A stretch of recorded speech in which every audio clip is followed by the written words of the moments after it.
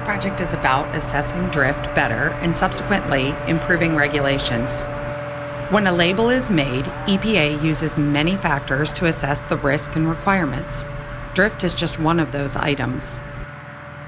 The problem with how it is currently done is that the models do not account for wind, machine type, and time of season, and other factors that clearly have an impact on drift. The current model used for labels often assumes the worst case scenario of dormant, young apple trees.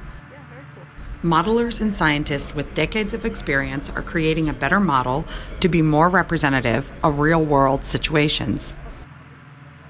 We at WSU are collecting data for that model.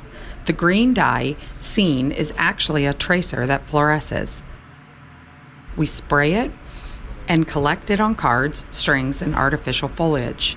In the lab, we have a machine that measures the parts per billion on any collector.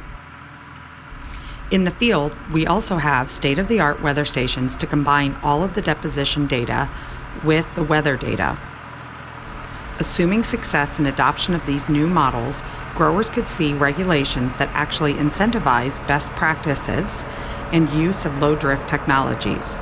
That's a win for everyone.